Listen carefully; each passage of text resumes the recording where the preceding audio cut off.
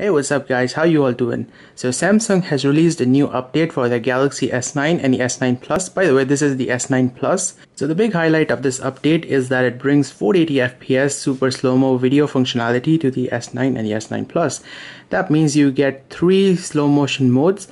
Uh, one is 240 fps second one is 480 fps and then you have the standard 960 fps now the big advantage of 480 fps is that you get twice as long as recording time.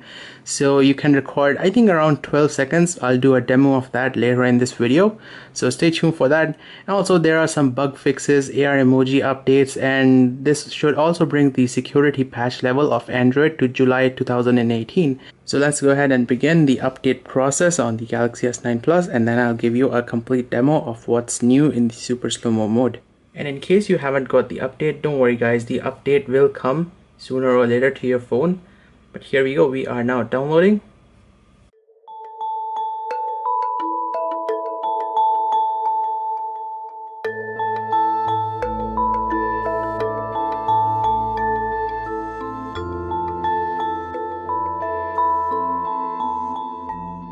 So this is a 960 FPS super slow-mo and the video length is 6 seconds, 0.2 second in real life and this is in 480 fps and the video length is 14 seconds. So more than double the length and in real life it should be around 0.4 seconds. So you get a lot more recording time in 480 fps and this is in 240 fps and 240 fps also has sound. So you have three different super slow motion modes on the galaxy s9 and the s9 plus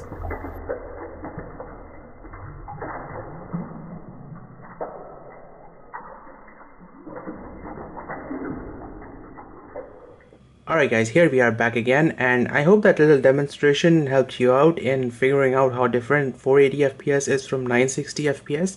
To be really honest, I don't really see much difference. The video quality is as good as 960 FPS and both of these uh, videos are in 720p but the big difference is that in 480 fps you're able to record full 14 seconds of super slow-mo video versus 6 seconds in 960 fps and that roughly translates to about 0.2 seconds in 960 fps in real life and 0.4 seconds in 480 fps in real life. Alright, so let's go to the camera and I will show you how you can record in 480 FPS because Samsung does not give us a separate option it's inside here in super slow-mo and it's a little bit confusing but I will try and explain to you guys my best. So if you want to record in 480 fps you'll need to tap this settings icon and go to uh, super slow-mo and then select then select this second option which says single take. So let's go back here and then you'll need to switch from auto to manual.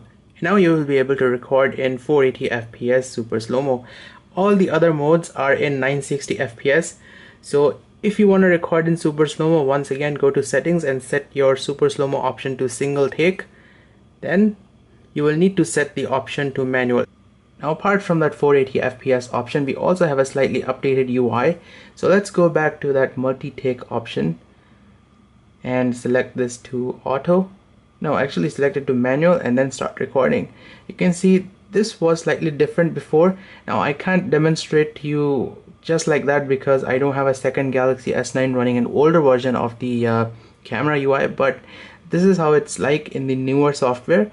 I think this button was not there before or uh, maybe it was it was there. I don't remember it clearly. So you press that little right button and the phone will record a super slow-mo clip. And you can do this again and again and lastly, this July update also updates the Android security patch level. So we have the 1st July 2018 latest Android security patch level. Alright guys, thank you for watching this video. I hope this video was able to help you out. So thank you for watching. Please subscribe to me on YouTube if you like my videos. Press the like button and follow me on Instagram and on Facebook. All the links are down in the video description. So thank you for watching. Do stay tuned for more videos like these and I will see you guys next time.